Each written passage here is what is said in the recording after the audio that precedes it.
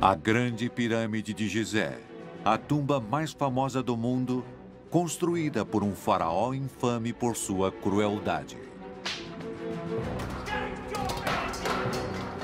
Kelps aterrorizava seu povo e os escravizava. Um suposto megalomaníaco, disposto a sacrificar seu povo em sua busca de perfeição. Hoje, arqueólogos estão à procura da verdade sobre esse rei e sua pirâmide. É um bom exemplo de como esse trabalho era difícil. Não era nada fácil. Expondo estranhas cerimônias, e uma incrível cidade perdida dos trabalhadores da pirâmide.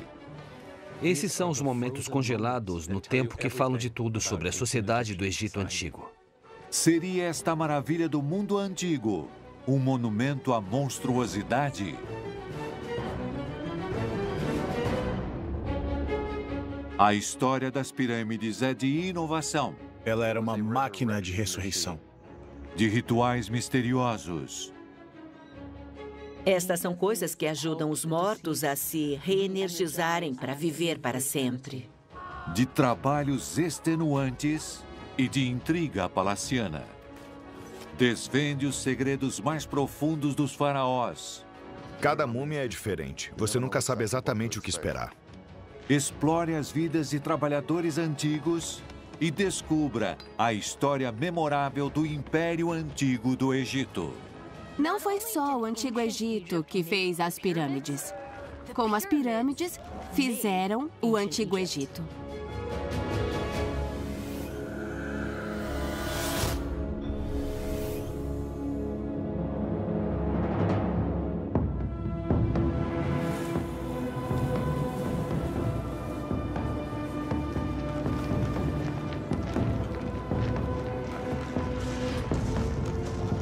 Volta de 2483 a.C., um faraó chamado Kelps está chegando ao fim de seu reinado. Ele está prestes a realizar a inspeção da obra mais importante de sua vida. A maior pirâmide da história egípcia. A Grande Pirâmide de Gizé.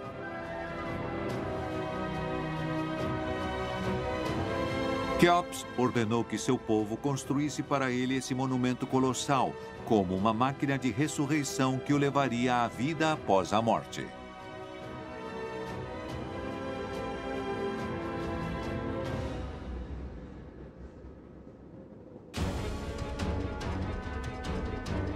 Hoje, cerca de 4.500 anos depois, a Grande Pirâmide é a única maravilha do mundo antigo que ainda está de pé. Ela tem mais de 137 metros de altura e é feita de 2 milhões e meio de blocos de pedra. Sua construção levou 25 anos. Como exatamente Kelps conseguiu unir seu reino para realizar esse projeto é um mistério antigo.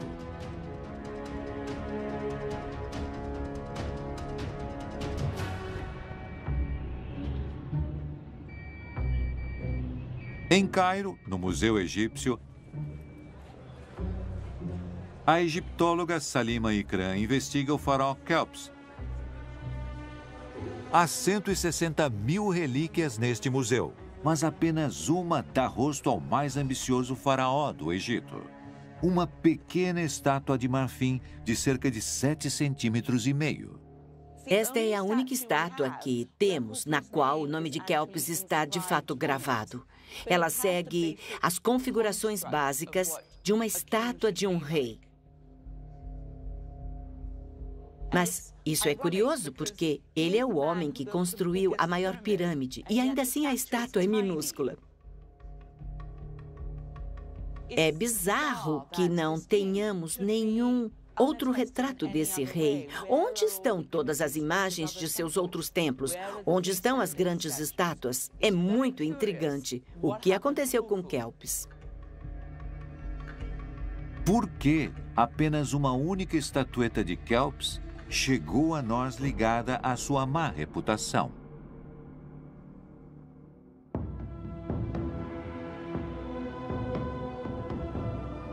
Há 2.500 anos, um historiador grego chamado Heródoto investigou o mistério de Kelps e sua grande pirâmide. Ele viajou pelo Egito, coletando relatos e histórias passadas adiante ao longo de eras. Quando chegou ao Planalto de Gizé, 22 séculos depois da Grande Pirâmide ter sido construída, o monumento ainda guardava a posição de maior obra humana no planeta.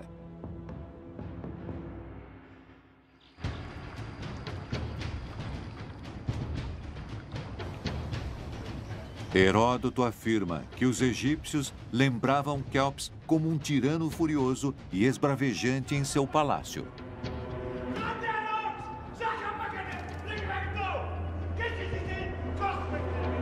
Heródoto descreveu coisas repugnantes em suas histórias. Uh, de acordo com ele, Kelps era um rei vil e ninguém gostava dele devido à sua crueldade. Heródoto escreveu que Kelps aterrorizava seu povo e que ele os escravizou para construírem a grande pirâmide. Heródoto pinta Kelps como uma espécie de tirano que fecha as portas dos templos do reino para focar tudo no plano de construção de sua grande pirâmide e cuja própria filha trabalha em um bordel e recebe blocos de pedra como pagamento de seus clientes. É muito difícil descobrir quem contaria essas histórias para o Heródoto. Mas claramente, naquele tempo, os próprios egípcios tinham uma narrativa de Kelpis não ser muito gentil ou afável ou benevolente. De acordo com Heródoto, teria sido assim que a Grande Pirâmide foi construída, por um povo escravizado trabalhando para um monstro depravado. Mas quanto dessa história teria bases na realidade? Isso foi milhares de anos depois de Kelps, e ele estava coletando informações de pessoas que nunca tinham visto Kelps, nunca tinham visto seus filhos, que viviam milhares de anos depois da era de Kelps. A verdade permaneceu um mistério por um longo tempo. Mas uma coisa que os historiadores conseguiram descobrir, examinando inscrições em tumbas, foi o nome da pessoa diretamente responsável pela construção da pirâmide.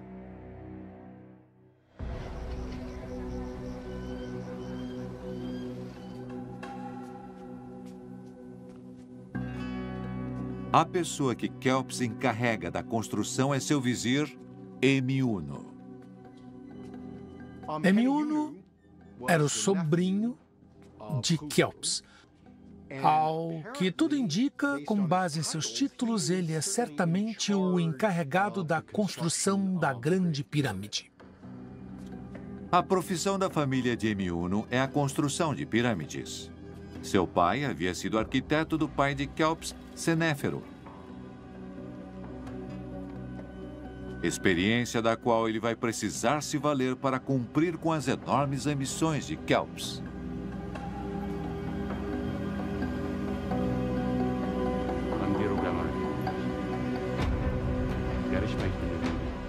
Ele queria construir a maior pirâmide que já havia sido construída.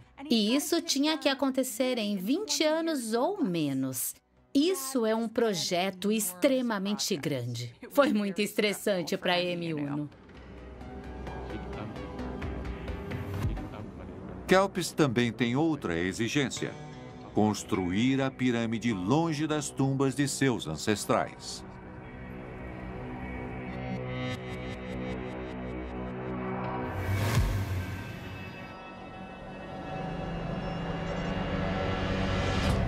Então, M1 esquadrinha a margem oeste do rio Nilo em busca do lugar ideal.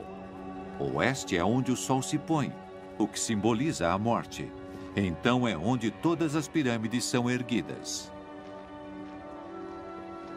Escolher um local não é fácil. Ele está à procura de uma área conveniente para nada menos que o maior canteiro de obras da história da humanidade. Como é o terreno alto e o baixo? Onde fica a inclinação? Se fizermos uma rampa aqui, se construirmos um templo ali, vai dar certo? Onde colocamos os cemitérios? De onde vamos extrair a pedra? Essas coisas tinham que ser levadas em consideração pelos egípcios.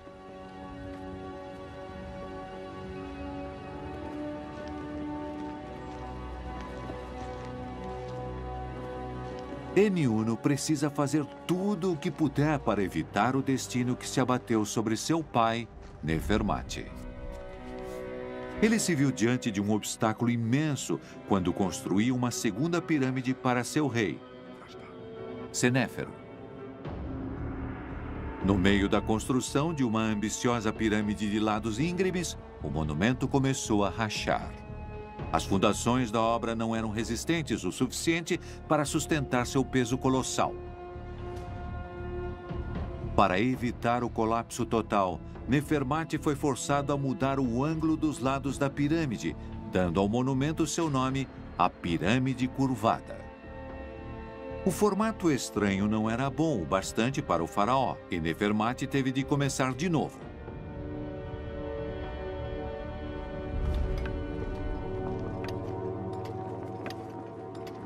Kelps quer uma pirâmide ainda maior. M1 não pôde se dar ao luxo de cometer um erro desses. Nós podemos imaginar que Kelps se preocupe se ele também viverá o bastante para completar a sua própria pirâmide. Ele será que nem o seu pai, que terminou três pirâmides antes de morrer? Ou será que Kelps não viverá bastante para terminar sequer uma única pirâmide? A coisa mais importante para o faraó é terminar sua pirâmide durante sua vida. O faraó tem que ver sua pirâmide de pé. Se a lenda da crueldade de Kelps for verdadeira, esse não é um homem que M1 possa se permitir decepcionar.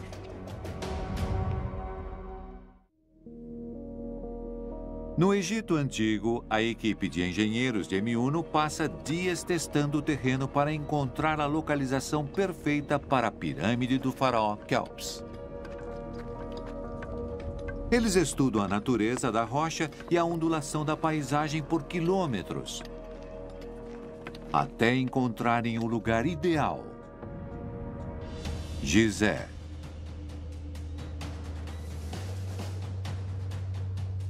Hoje, Gizé é um agitado subúrbio do Cairo. Mas há 4.600 anos, ela era um planalto vazio, 32 quilômetros ao norte da pirâmide curvada, e não muito longe da capital, em Mênfis. O que havia aqui geologicamente era uma grande placa de calcário. Ela era perfeita para servir de plataforma para a fundação da pirâmide. Mark Lanner é um professor americano de arqueologia e egiptologia.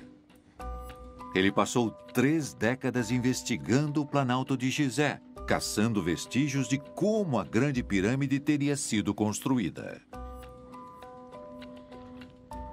Eu entendi que tinha que dar as costas às pirâmides para entendê-las, porque eu percebi que, sem compreender o povo e a sua economia, e sua sociedade, eu não compreenderia a pirâmide.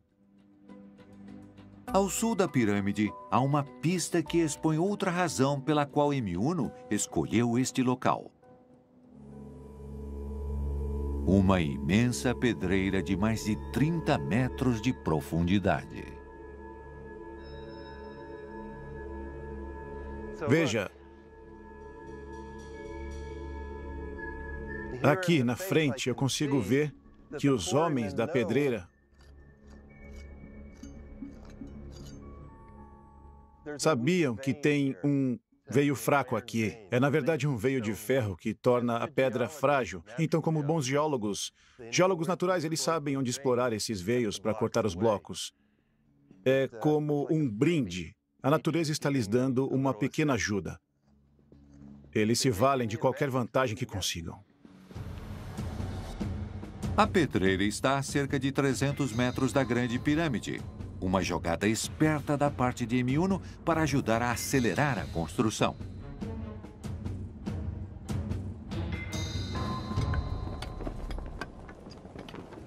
Mas completar a pirâmide a tempo ainda exigiria um enorme esforço humano e alguma ajuda dos deuses.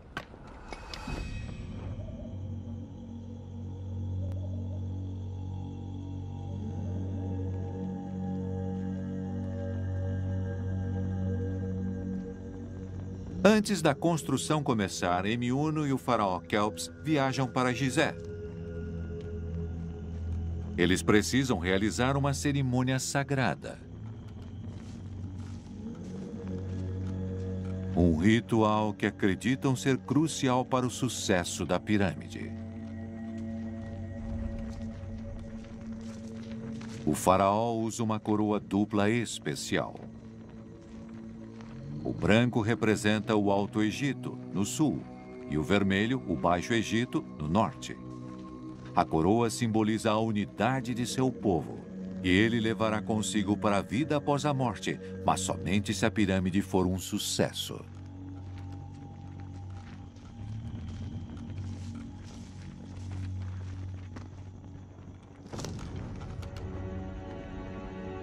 Uma alta sacerdotisa se veste com a imagem da deusa da matemática e da astronomia. Ela traz um instrumento de medição conhecido como Merket. Esta ferramenta pode ser usada para alinhar a pirâmide de Kelps com o norte. O faraó acredita que no norte haja um portal pelo qual sua alma passará para se juntar a seus ancestrais e aos deuses.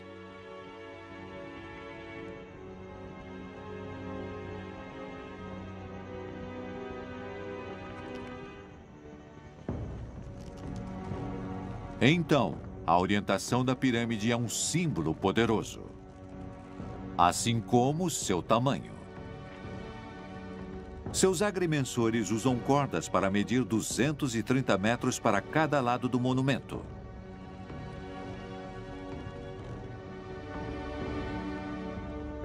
Isso dá à cerimônia seu nome, Pad Chess, esticamento da corda.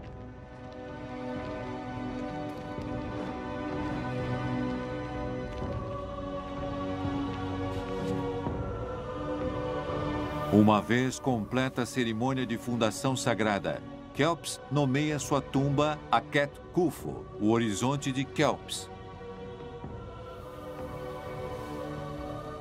Após sua morte, o faraó se tornará uno com o deus do sol e desaparecerá a cada anoitecer no horizonte para renascer com a primeira luz do amanhecer.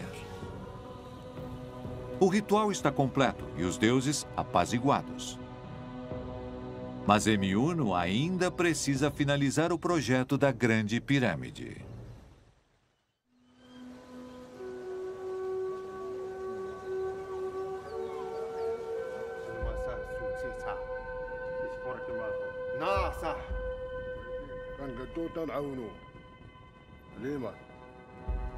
As dimensões exageradas desta pirâmide devem ter preocupado os engenheiros.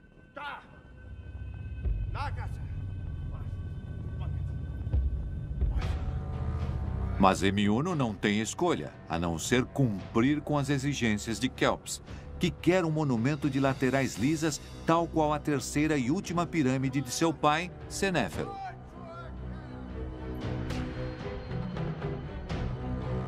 A pirâmide vermelha de Senéfero tem mais de 100 metros de altura, a construção mais alta do mundo. Mas Kelps quer uma pirâmide 30 metros mais alta. Este será o maior projeto de construção na história humana, demandando trabalho e suprimentos de todas as partes do Egito. Ele precisa obter os recursos das pedreiras, trazer eles até o planalto de Gizé. Ele tem que recrutar gente de todo o reino para vir trabalhar nessa obra e organizá-las. Como ele fará isso?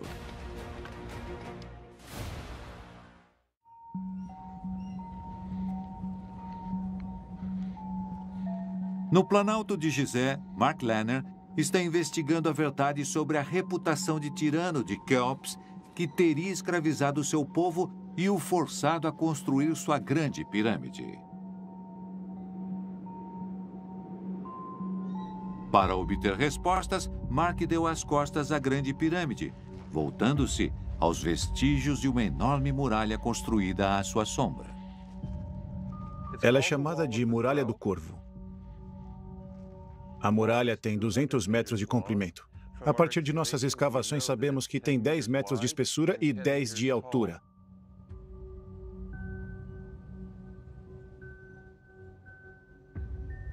Essa muralha nos diz que alguém pretendia que isso fosse permanente. Ao norte da muralha, temos a Esfinge, as tumbas, os cemitérios, as pirâmides. Leonard fez uma pergunta lógica. Se estes monumentos para os mortos estão de um lado da muralha, o que estaria do outro? Ao sul, eu suspeito que houvesse infraestrutura, um assentamento. A intuição de Mark provou-se verdadeira. Para além desta muralha, ele desenterrou uma vasta cidade perdida.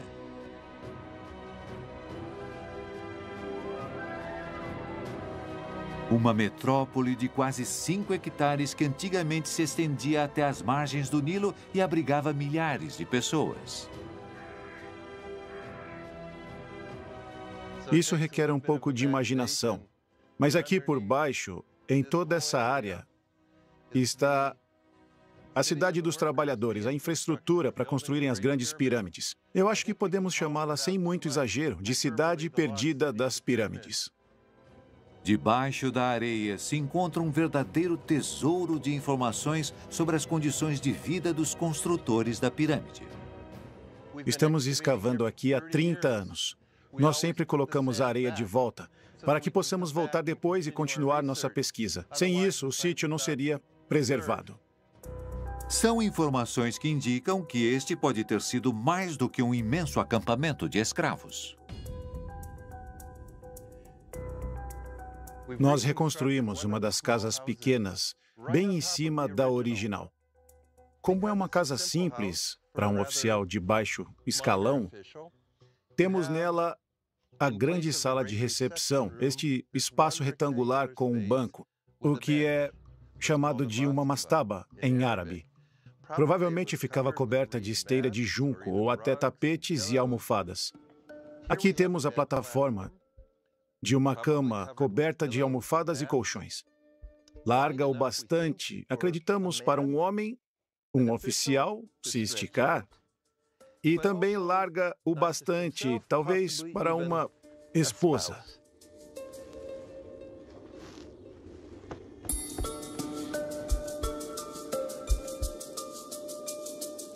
Nos fundos da casa, a equipe de Mark descobriu vestígios de um forno de pão e outros traços de preparação de alimentos. Encontramos aqui um armazém redondo para grãos, provavelmente trigo. Eles deviam moer o trigo para fazer farinha. E também um dos membros da casa ficava de joelhos, moía o grão e fazia a farinha, coletava ela em pequenos potes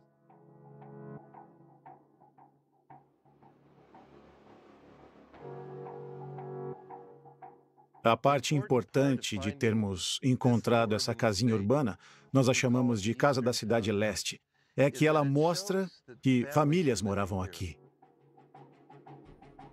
Mark acredita que esta casa tenha pertencido a um dos supervisores. Mas e quanto aos trabalhadores comuns?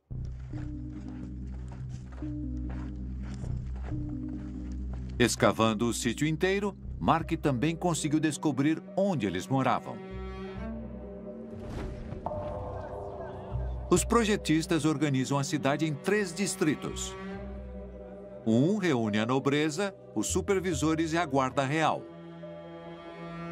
Outro tem padarias, matadouros, cervejarias e artesãos. O centro da cidade é reservado para a imensa mão de obra da pirâmide. Eles moram em uma série de dormitórios construídos lado a lado, cada um com mais de 30 metros de comprimento e abrigando muitas dúzias de trabalhadores.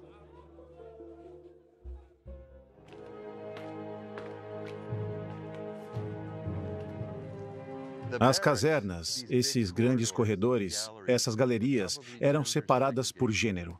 Eram majoritariamente homens e uma maioria de homens jovens que rotacionavam entrando e saindo da força de trabalho. Homens jovens vindos de suas casas, vilas de todo o Egito. Eles provavelmente ficavam juntos em bandos ou grupos. As casernas onde esses trabalhadores moravam não parecem ficar isoladas e trancadas como um acampamento de escravos. Em vez disso, elas estão no meio de uma cidade grande. Portanto, Mark descobriu onde eles moravam e também há pistas de como eles viviam. Nós sabemos que essas pessoas que construíam as pirâmides eram muito bem cuidadas. Há muita carne entrando no sítio para alimentá-las. Enquanto escavavam o planalto de Gizé, foram encontrados grandes moldes de pão. Então, muitas pessoas estavam comendo pão como sua principal fonte de nutrição. Também temos restos de bagre. Então, o bagre estava mesmo no cardápio com frequência para os trabalhadores dessas pirâmides. Muito diferente da vida de escassez da maioria das pessoas da Era do Bronze.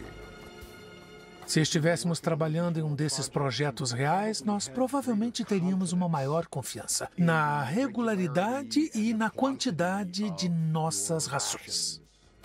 Manter a mão de obra de Kelps bem alimentada era vital para o sucesso do projeto. Para que a pirâmide seja finalizada a tempo, é preciso manter seus trabalhadores contentes, tem que alimentá-los, tem que mantê-los fortes.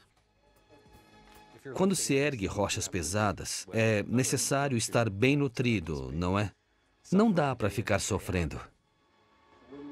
Todos os vestígios que Mark descobriu parecem contrariar as lendas de que Kelps escravizava e maltratava seus trabalhadores. Encontrar essas novas informações sobre a pirâmide está mudando completamente nosso conhecimento sobre como as pirâmides eram construídas. O relato de Heródoto de 100 mil escravos não tem evidência empírica no Egito da época.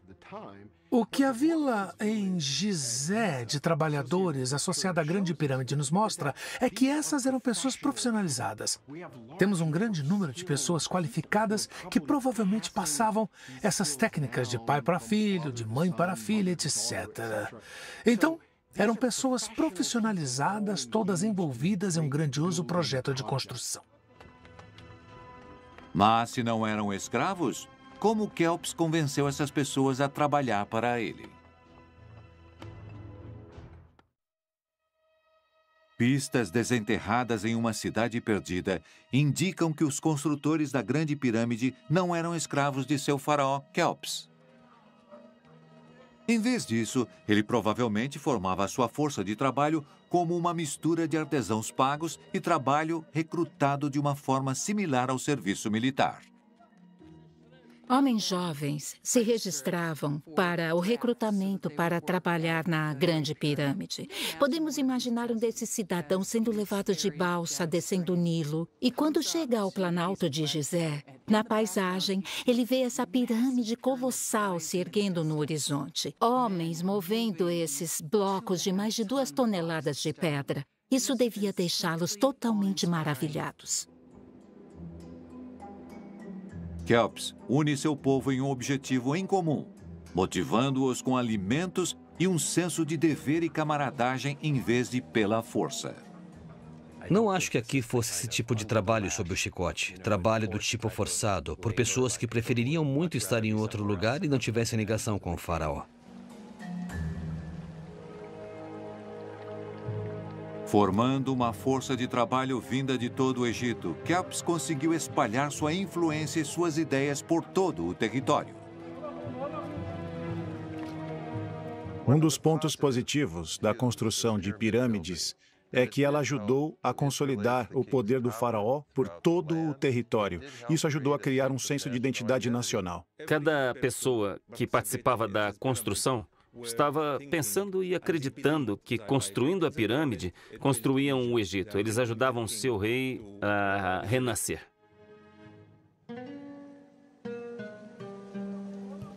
Um dia típico de um artesão qualificado ou de um supervisor era, ao que tudo indica, muito diferente da imagem de escravidão que as lendas pintam. Ao amanhecer, o artesão se levanta. Ele se lava e se veste com um saiote simples ou com uma tanga de linho.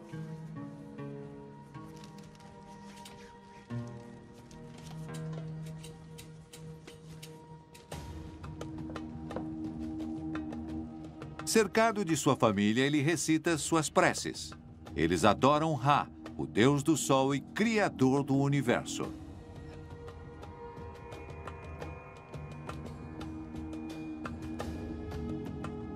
Sua primeira refeição do dia consiste de pão, peixe desidratado e alho, tudo isso acompanhado por cerveja. O artesão então deixa sua casa para trabalhar por um período de 10 horas, segundo os registros antigos.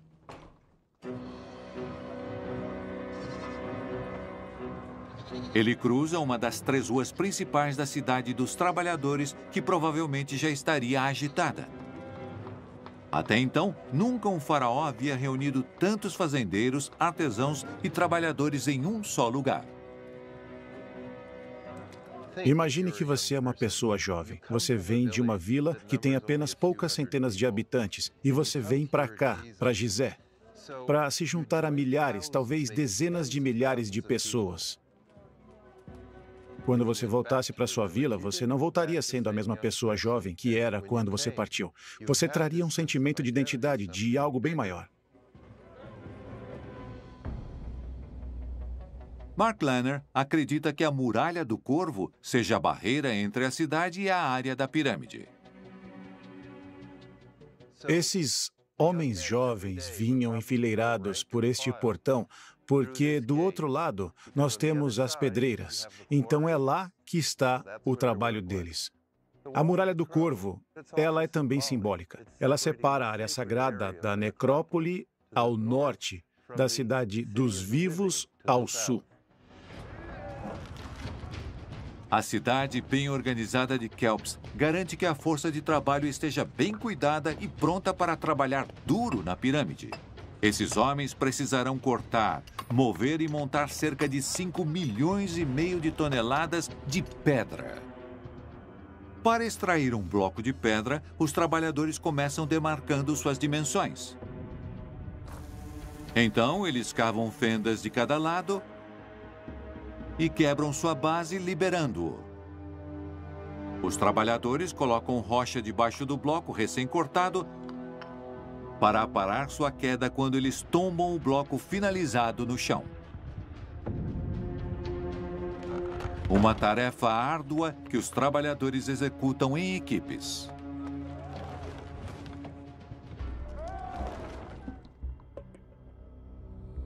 Os egiptólogos estimam que 2 mil canteiros trabalhavam na pedreira, extraindo 200 blocos por dia, cada bloco pesando em média 2 toneladas e 250 quilos. Este é um dos blocos grandes da pedreira. Ele é um belo exemplo de onde exatamente eles estavam subdividindo esses grandes blocos como se cortassem um pedaço de bolo. Não era um trabalho agradável. Quer dizer, essa pessoa ou essas pessoas tinham que ficar aqui dentro trabalhando o dia inteiro. É largo bastante para uma pessoa. Com martelos de pedra, marretas e cinzéis, aumentando esta abertura. Sabemos disso porque dá para ver os estriamentos. É um bom exemplo de como esse trabalho era difícil. Não era nada fácil. O trabalho não é só difícil, ele também é perigoso.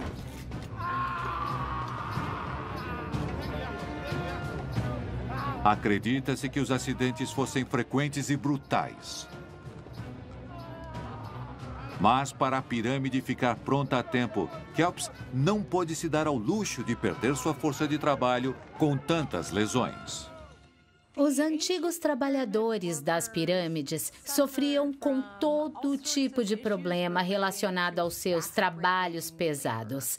Eles sofriam muitos ferimentos relacionados ao deslocamento de blocos enormes, por terem de empurrar e usar muita força. Também temos conhecimento de que alguns deles eram tratados no próprio local. Os antigos egípcios tinham muito conhecimento de medicina e sabemos isso por causa dos trabalhadores das pirâmides, porque temos gente com ossos quebrados que foram regenerados com talas.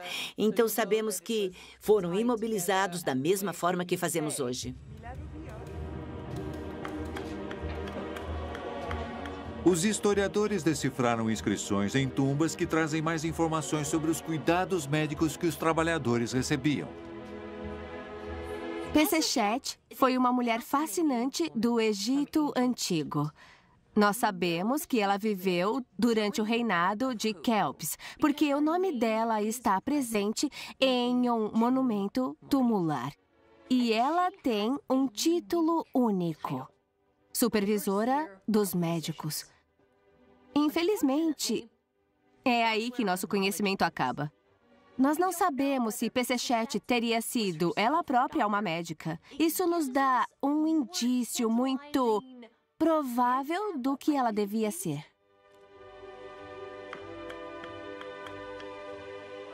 Havia muitos remédios envolvendo plantas, às vezes uh, até algum pedaço de animal também, como medula óssea, que se bebia para ficar mais forte. Então, enxaquecas, dores, dores nas juntas, Tosses, coriza, eles davam tratamento para todas essas coisas. Doenças dos olhos que eles conheciam e também tinham remédios para elas.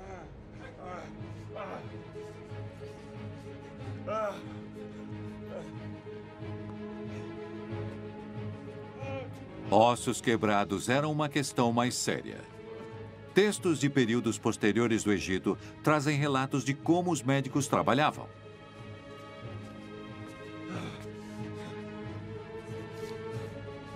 Se a própria Pesechet examinava os trabalhadores, ela invocaria a deusa da medicina, Sekhmet, em seu auxílio.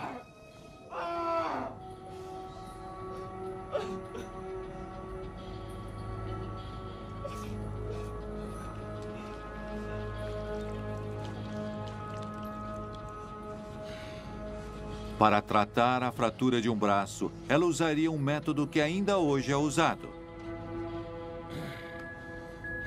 Ela começa realinhando o osso.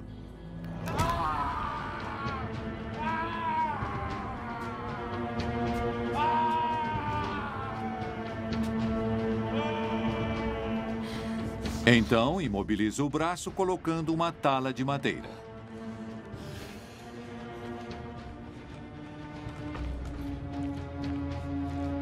Por fim, ela cobre a ferida com mel que age como um desinfetante e também como um anti-inflamatório.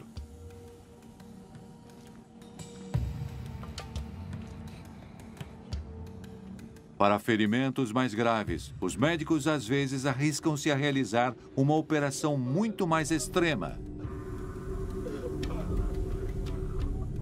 A amputação.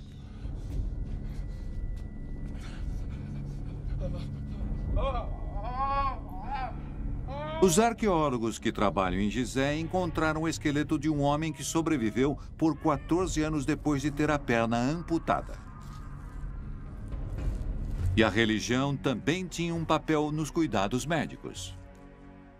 A magia era ligada à cura. Então, você podia ser vítima de uma picada de escorpião, e então iria a uma mulher curandeira ou a um homem curandeiro e eles receitariam um feitiço.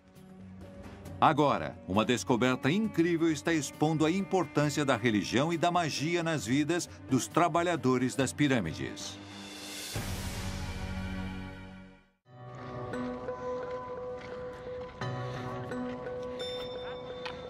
Enquanto Mark Lanner investiga a cidade perdida dos trabalhadores da pirâmide, uma equipe de arqueólogos egípcios faz uma descoberta incrível que ajuda a revelar o que mais pode tê-los motivado para trabalhar.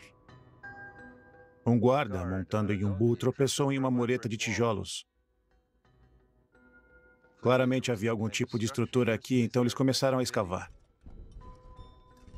Aí eles encontraram uma tumba. E depois mais uma e mais uma. Parece convincente que o que tenhamos aqui seja as tumbas dos trabalhadores que construíram as pirâmides. Há centenas deles logo na saída da cidade dos trabalhadores.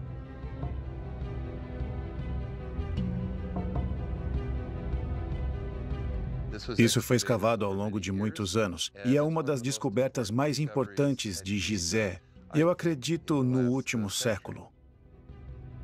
Agora estou na parte baixa. Temos pequenas mastabas. Essas são todas de tijolos de barro e pedra quebrada.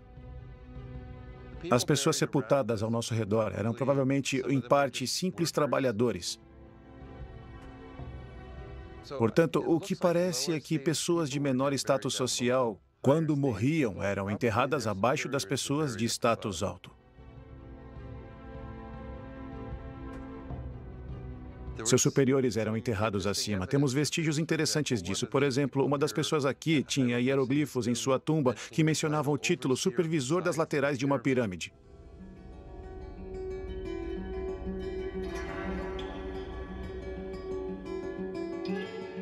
Os títulos das tumbas são como um currículo de seus trabalhos.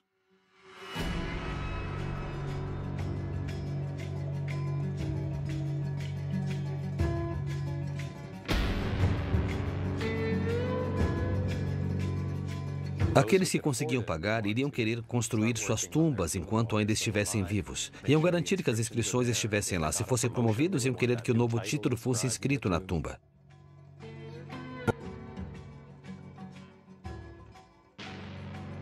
Esses são os momentos congelados no tempo nas paredes das tumbas de Gizé, que nos falam de tudo sobre a sociedade no Antigo Egito. A descoberta oferece aos arqueólogos uma perspectiva única quanto às vidas desses trabalhadores. Estudando seus ossos, os objetos fúnebres que ficavam junto deles e qualquer decoração tumular que tivessem, podemos preencher algumas lacunas no conhecimento que temos.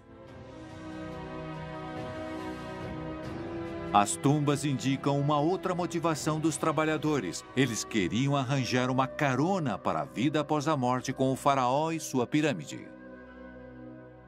É difícil dizer ao certo, mas eu acredito que o prestígio de estar associado à Grande Pirâmide poderia muito bem ser parte da motivação dos trabalhadores que eram parte desse projeto.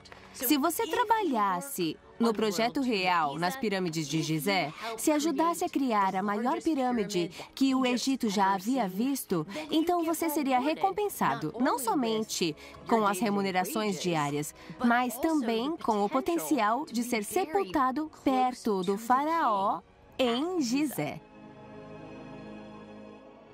Podemos presumir que aqueles que conseguiam construir suas tumbas mais perto da pirâmide se beneficiariam dos aspectos divinos ou quase divinos do faraó em seu local de descanso real nas proximidades. As tumbas dos trabalhadores em Gizé são mais um indício que contraria o relato de Heródoto e sua visão de 100 mil escravos sendo forçados ao trabalho. Isso nos diz que essas pessoas não eram escravos. Se fossem escravos, jamais teriam sido sepultados perto da pirâmide. Eles jamais desejariam ficar à sombra de seu faraó. O relato de Heródoto dos escravos de Quéops me parece similar a questionamentos modernos. Como alguém conseguiu construir essa coisa? E a resposta parece que só poderia ser de que ele deve ter forçado todo mundo a trabalhar para ele. Mas os arqueólogos agora acreditam que Kelps estivesse usando uma força de trabalho livre e bem treinada. 340 blocos de calcário tiveram que ser dispostos todo santo dia. As pedras tinham que ser entregues a cada 34 minutos. Isso requer muita mão de obra e requer muita administração para ser possível construir algo dessa escala. A Grande Pirâmide de Kelps consolida ainda mais as bases administrativas e econômicas do Antigo Egito.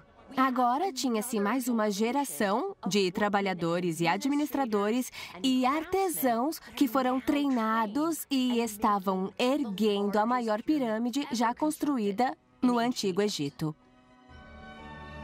Assim como seu pai antes dele, Kelps instala fazendas e casas para prover aos seus construtores de pirâmide.